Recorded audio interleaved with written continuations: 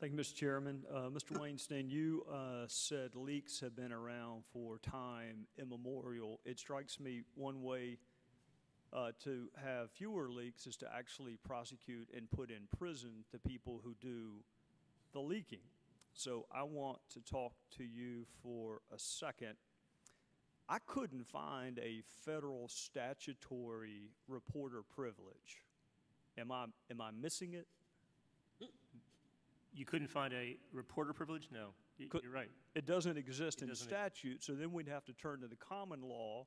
And I'm not aware of any privileges that are unqualified, and certainly the reporter's privilege would be limited and would be qualified. So then we move to this area where, because it's the First Amendment, heavens knows we can't have any limitations on that. So I, I thought maybe you and I, together with the help from, from our friends uh, who are law professors, could come up with some examples on where there are limitations of people's First Amendment rights.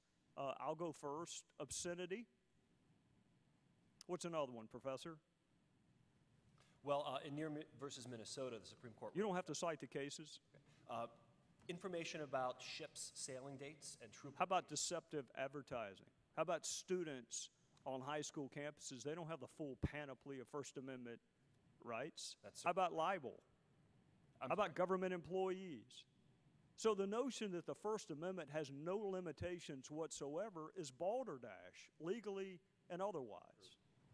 So that then lends me, or leaves me, with this conclusion. We are asking the U.S. Attorney, I think in the District of Columbia, to investigate leaks, and if he follows DOJ policy, he has to ask the Attorney General four months shy of an election for permission to subpoena a reporter in a case that may wind up being embarrassing for this administration.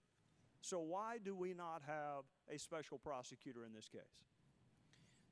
I think, um, Congressman, you're referring to the internal DOJ guidelines Yes. that require that the Attorney General personally sign off on a request to subpoena a reporter. That's exactly right. DOJ true. policy. It is DOJ policy. It's in place to protect the free press, to make sure that prosecutions don't uh, chill the, the exercise of free press. Right, it's certainly not the law. That's just DOJ policy. It's not the law. If you look at the Espionage Act, there's nothing in the Espionage Act. As you pointed out, there's no privilege. Um, keep in mind, however, you can make leak investigations and leak prosecutions without actually subpoenaing the, the reporter. You, you, you may can, but you can also win murder cases without calling the eyewitnesses. You can win a murder case without calling the DNA expert. Why not send a subpoena to the reporter? Put them in front of a grand jury. Mm-hmm. You either answer the question or you're going to be held in contempt and go to jail, which is what I thought all reporters aspire to anyway. Well, I mean, all of us aspire to be committee chairman. I thought that that was the crown jewel in a reporter's resume is to actually go to jail protecting a source. Give them what they want. yeah. Yeah, th- there was a reporter who spent, got the crown jewel and spent whatever it was, 70 days in jail in, 70 days. in the uh, You can sleep case. for 70 days. But it, um, you make a good point, which is that the easiest way to make these cases is just go to the reporter. Either get the reporter's phone records, email records. I- mean, if you were the subpoena them prosecutor, Put them in the grand jury. That would be the. what would you efficient way to do other than that? If you were the prosecutor and your job was to get to the bottom of it as quickly as you could, you would send a subpoena to the reporter, right? Right, And put him in front of a grand jury. Right. And keep, keep in mind, I'm going to defend the existence of that regulation, not necessarily defending the application of it and how stringently it should be applied. I'm not saying that every line AUSA and every district in the country should be able to subpoena a reporter. I'm not saying that. I'm just saying that something as important and compelling, if you want to use a constitutional analysis, if you want to talk about the tiers of scrutiny, something as compelling as national security. And Ron Machen has to ask the Attorney General for permission to subpoena a reporter in what may be a very embarrassing fact pattern four months before a general election. I, how, how, you know, we have to have confidence in the outcome and you have to have confidence in the process.